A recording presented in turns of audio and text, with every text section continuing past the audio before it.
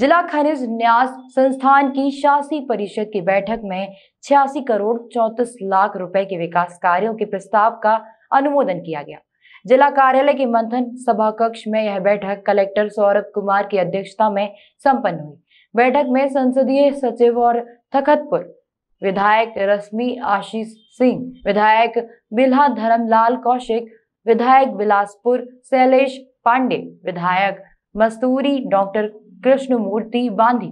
विधायक बेलतरा रजनीश सिंह सहित शासी परिषद के सदस्य और विभागीय अधिकारी उपस्थित थे। गौरतलब है कि ज़िले में एक ग्राम पंचायत खनन प्रभावित क्षेत्रों के अंतर्गत शामिल हैं। इन क्षेत्रों में लोगों को राहत दिलाने और विकास कार्यों के लिए छियासी करोड़ चौतीस लाख रुपए की कार्य योजना के प्रस्ताव का अनुमोदन किया गया है। इस राशि में खनन प्रभावित गाँव में शिक्षा, स्वास्थ्य, पेयजल, कृषि और सड़क निर्माण जैसे महत्वपूर्ण सेक्टरों में विकास कार्यों की प्रक्रिया की जाएगी। बैठक में जिला पंचायत की सीईओ जयश्री जैन और डीएमएफ शाखा के प्रभारी, नोडल अधिकारी और डिप्टी कलेक्टर महेश शर्मा ने प्रस्तावित कार्य योजना से प्रसिद्ध परिषद को अवगत कराया। आज डिस्ट्रिक्ट माइनिंग फंड की बैठक रखी गई जिला खनिज न्यास की। उसमें सभी सम्मानित जनप्रतिनिधिगण नेता और सभी विभागों के अधिकारी उपस्थित थे।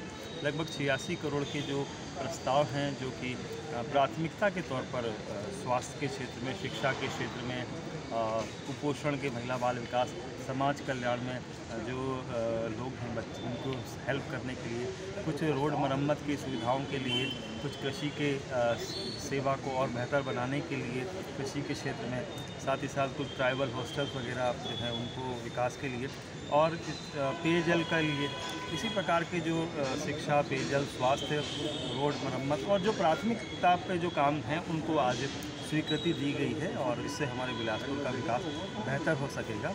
कुछ सुझाव और भी मैंने अपनी ओर से जोड़े हैं, जिसमें कि बिलासपुर एक पीएससी का हब है कोचिंग का। इसमें 25-30 हज़ार बच्चे बिलासपुर शहर में आते हैं तो उनके लिए एक शेल्टर बनाना चाहिए।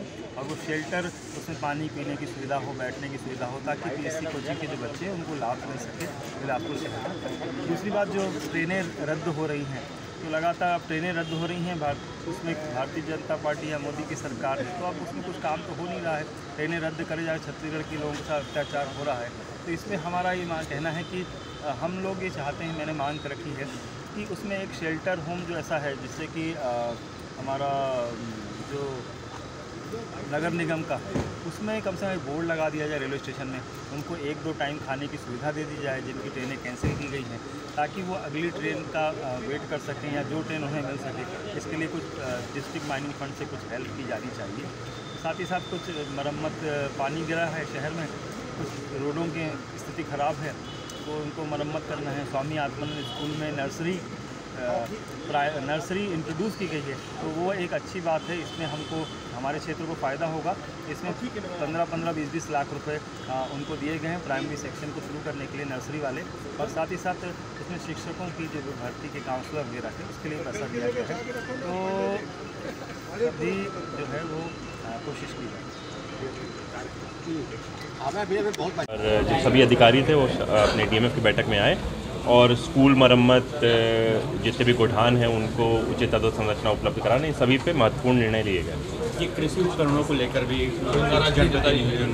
एक सम्माननीय विधायक महोदय द्वारा ऐसा बोला गया है तो उनको मैंने आश्वस्त किया है कि वो जो भी प्रक्रिया होगी जिस प्रक्रिया से उपकरण दिया गया होगा एवं वो जो भी प्रक्रिया होगी जिससे हितग्राही चयन किया गया वो दोनों की जानकारी उनको प्रदाय कर दी जाएगी। और जो बाकी जनप्रतिनिधि थे बाकी एमएलए साहब लोग थे उन्होंने बोला है कि उनके क्षेत्र में पटना चाहिए। तो अपन इसका आकलन करेंगे आ, कि जहाँ पे आवश्यकता नहीं है जहाँ पे मांग नहीं है वहाँ पे नहीं करेंगे।